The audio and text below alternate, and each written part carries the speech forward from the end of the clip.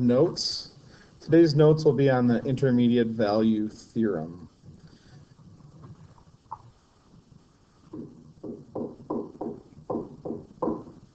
Which we will refer to um, quite often in class as the IVT. The intermediate value theorem is a, is a really important theorem that you will have to um, invoke at some point in time on your AP Calculus test. This usually comes up in the free response section of the test. Um, but these questions, the intermediate value theorem is um, can be kind of simple to understand, but it can be hard to put into words. Okay. Um, whenever we learn about theorems, it's really important to know about the conditions that must exist for us to use this theorem. Okay. So let's go ahead and write down our condition first. It'll be always important to keep track. We'll have three major theorems this year that we'll use a lot, and we'll need to make sure if we know, um, we need to know for each theorem which conditions must exist.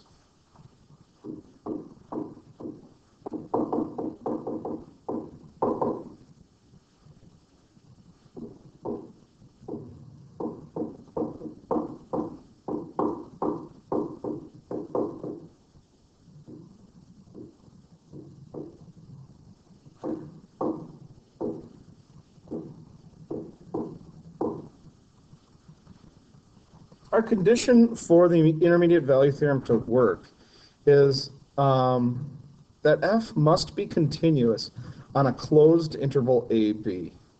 Make sure you understand that that interval AB is a closed interval.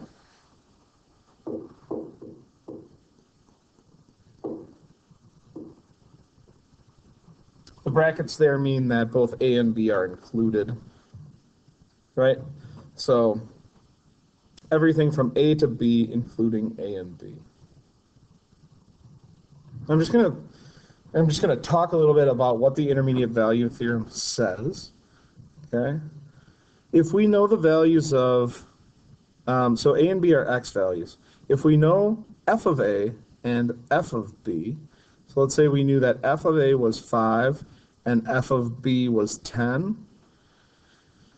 If the function f is continuous, that means when we move from A to B, the graph is connected. So we must hit every y value or every f of x value in between 5 and 10. Okay. So here's how this works.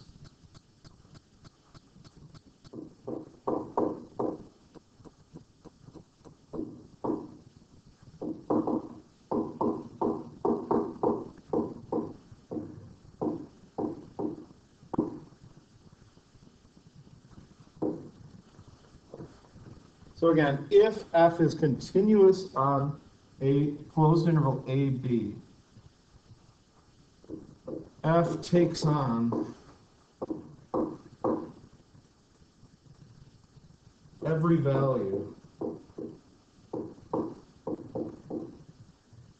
between f of A and f of B.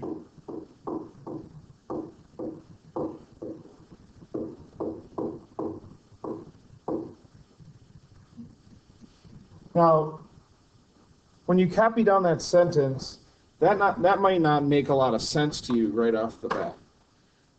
The, the inter intermediate value says if f is continuous on the closed interval AB, then f takes on every value between f of A and f of B. Um, to explain this, I'm going to draw a little bit of a picture here to help us understand it.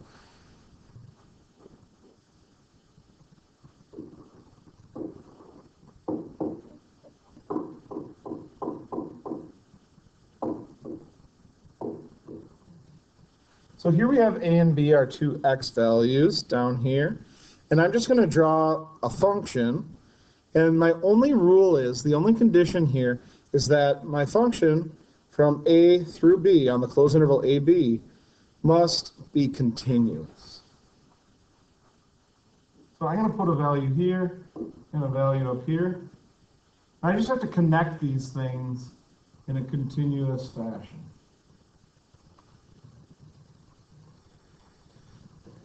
So ask yourself, take a look at that sketch I drew for f of x. Right? we can see that, yes, that is connected. I don't see any removable discontinuities. I don't see any jump discontinuities. It's continuous on that whole interval from A to B. Let's take a look at the y values then.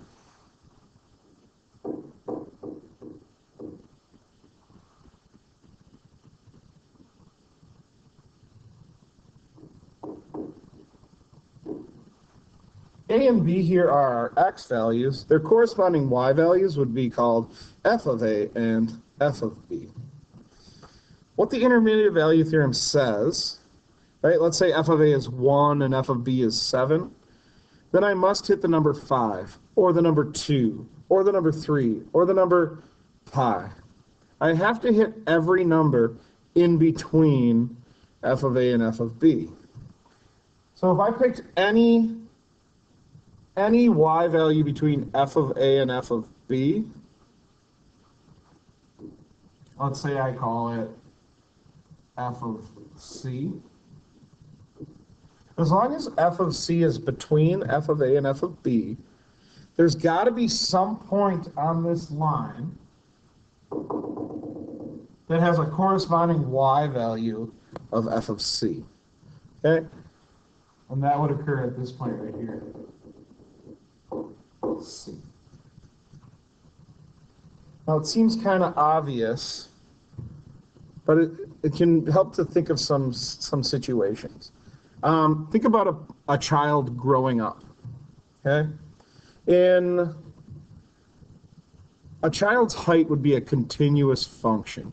Right? If you mapped their height every single second of every single day, they're never going to go from two feet to four feet in the blink of an eye, right? Their height is a continuous function. It may um, plateau, it may go up and down as you get older, things like that. But if, if a child who's two years old is two feet tall, and then you saw that child again when they were five years old, and they're three feet tall, then there must have been a time, if they were two feet at one point in time and three feet tall at another point in time, then there had to be a time when they were 2.7 feet tall because their height is a continuous function. Okay, let's take a look at how this is assessed on the AP test. Generally, I see this assessed in table form. So I'm going to draw a table for you that I want you to copy into your notes.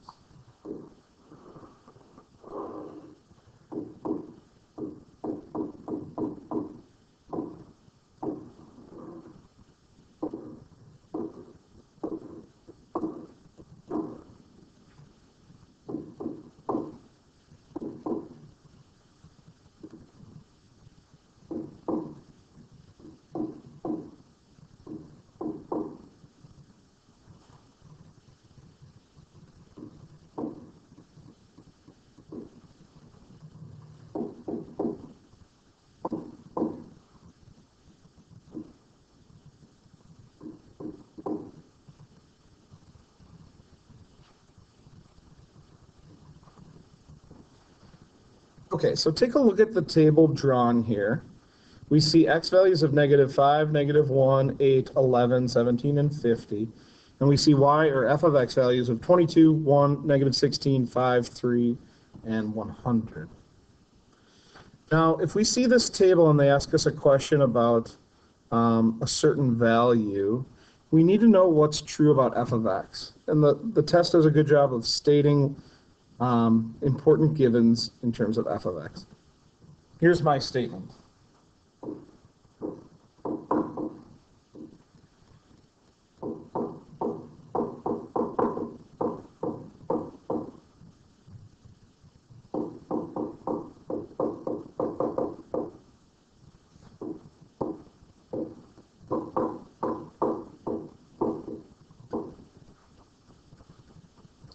So our statement here is that f is a continuous function on the closed interval negative 5 to 50. So we ask ourselves, knowing that f is a continuous function on negative 5 to 50, will the intermediate value theorem apply? The answer, of course, is yes, the intermediate value theorem will apply. Okay. Now I'm going to try and phrase a question in the way that the AP test likes to ask them. Uh, So I'm going to ask a series of questions about this table.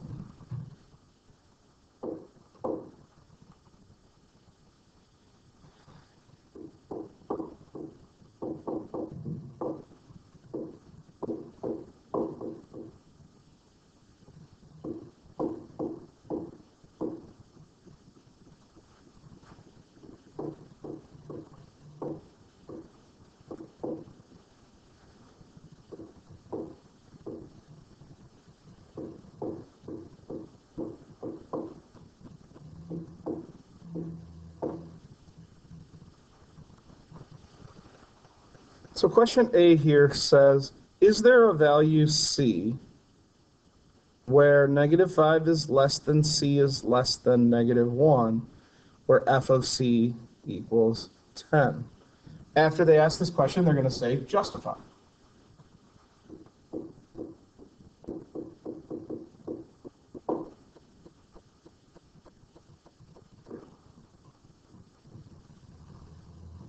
So again, we're asking about C values.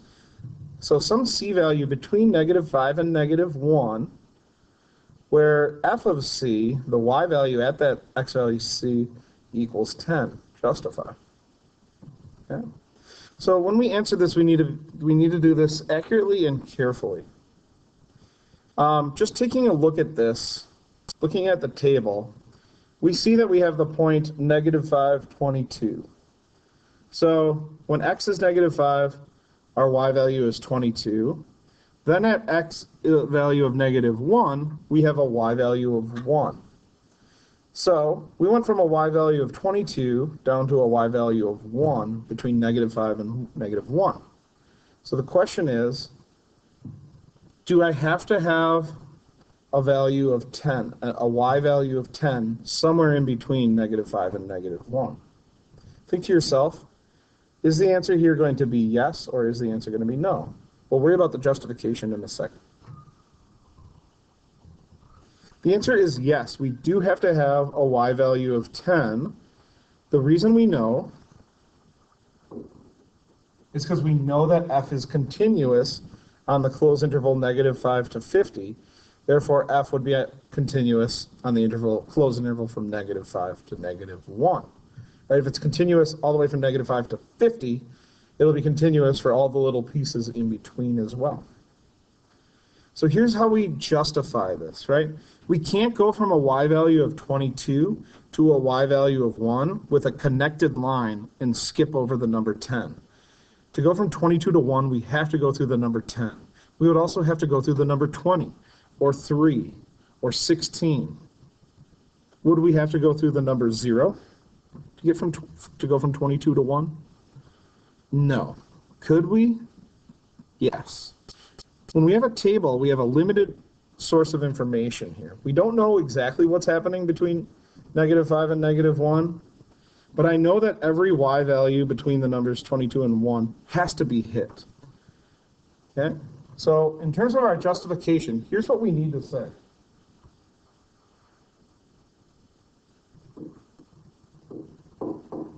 Because f of negative 5 equals 22,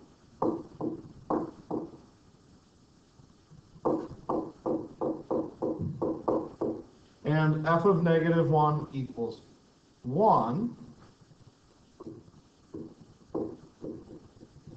and we always need to state the condition, and f is continuous,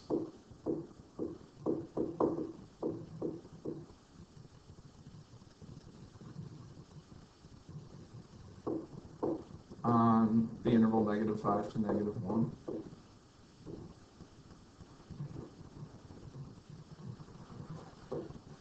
There must be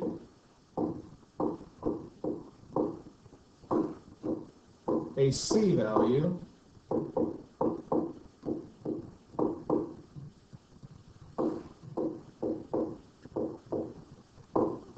because of, where, there must be a C value between negative 5 and negative 1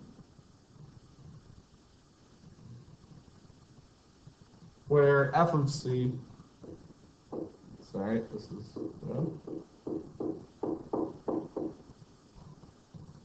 where f of c equals 10 because of the IVT.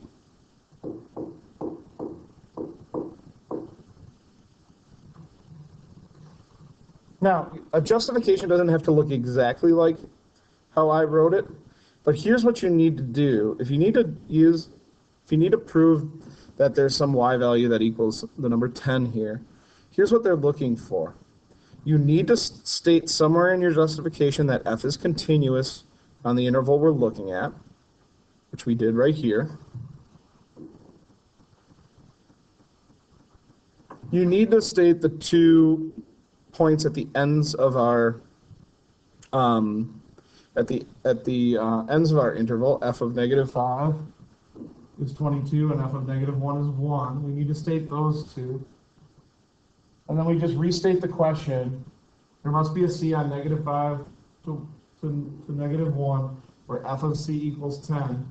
And then you need to state because of the IVT intermediate value theorem.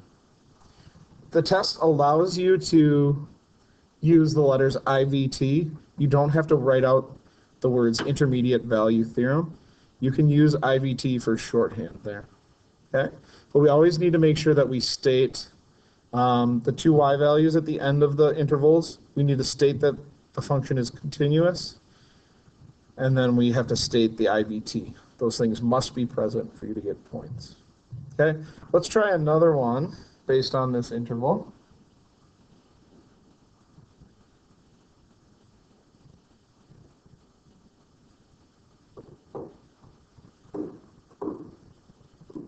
Say it this way.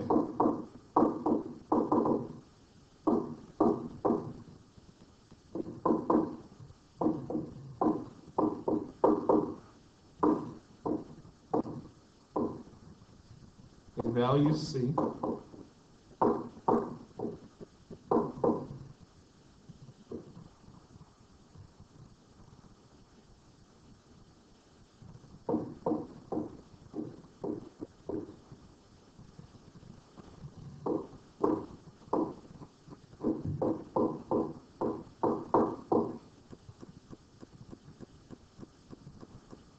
So again, reading this thing, it says explain why that why there must be a value c where negative 1 is less than c is less than 8, where f of c equals 0. Okay. Now, scrolling back up, let's take a look at our interval. We're looking at x values between negative 1 and 8. So we're looking between negative 1 and 8. The test is asking us to explain why there must be a y value of 0. Right? Why, why does there have to be a c, so some number between negative 1 and 8, we don't know which number, but there has to be some x value, some or some c value, where f of c equals 0. Okay? Take a stab at trying to, to justify that to earn points. Again, these justifications can be tricky even when the concept is, is relatively simple. So, Go ahead, take a pause, see if you can explain this, and we'll come back and answer it.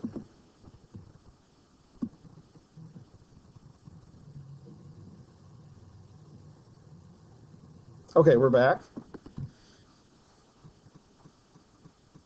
So to, here's how I would explain this.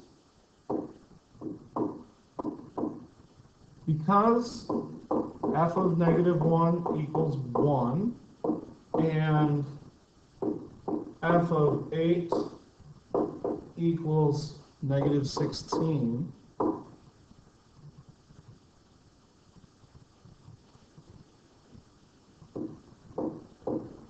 And because, sorry, this is grammatically not the best, but we just need to make sure we state all these things. And because f is continuous on negative 1, 8. There must be a C.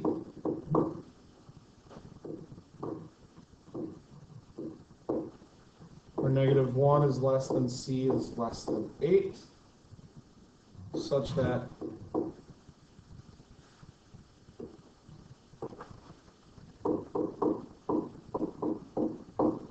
f of c equals 0 because of the IVT.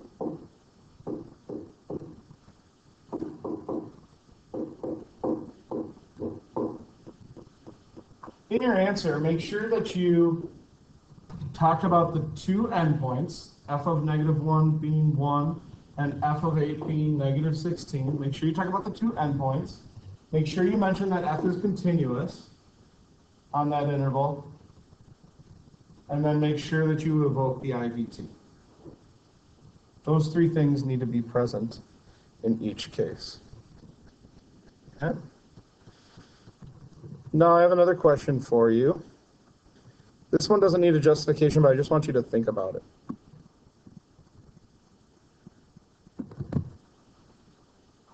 So, taking a look at our table here, I want to ask you this question. What is the what is the minimum number of zeros that f must have on the interval negative 5 to 50? Now, it could have a whole bunch of zeros, but I want to know how many does it for sure at least have to have? Where do those zeros have to occur? So think about that. Well, we must have a zero, obviously, between the x values of negative 1 and 8. I can't go from 1 to negative 16 without going through 0 at least one time. But there has to be another 0 as well. There must be another 0 that occurs between 8 and 11, because to go from negative 15, negative 16 to positive 5, I must also cross through 0. Now, there may be other zeros, and there may be multiple zeros in between those intervals that we looked at, right? Take a look at 11, 5. The point 11, 5, and then we have the point 17, 3. There very well could be a zero, right? We could go from 5 down to negative 1 and then back to 3, right? There could be some zeros in there but there doesn't have to be. There are only two places in this interval where f of x must equal 0. Okay, I want to try one more example, and then we'll be done.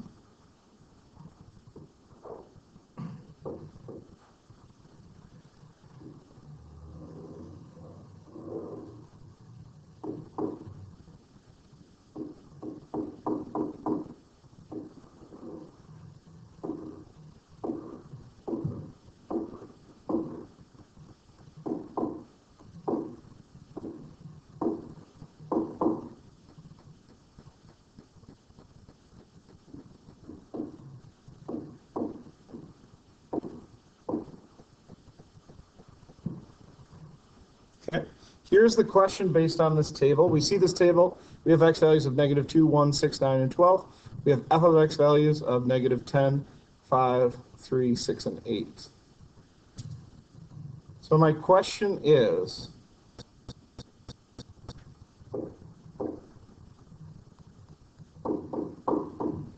is there a C where uh, let's do negative 2 is less than c is less than uh, positive 1.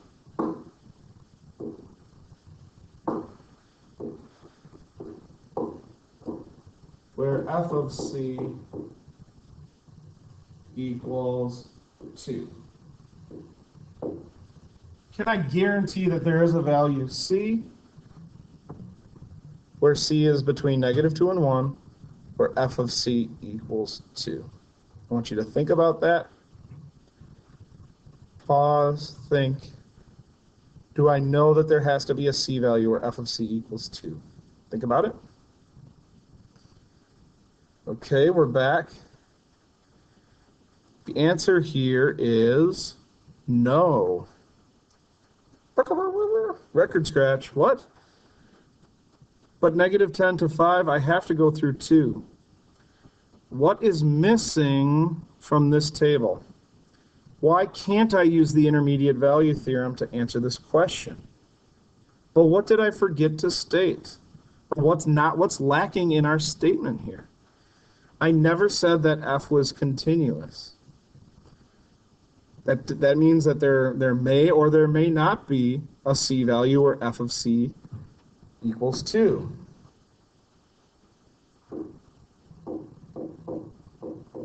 So because f is not stated as continuous,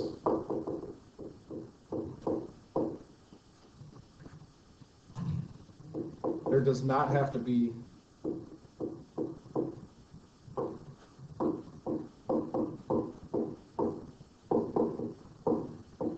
does not have to be a c value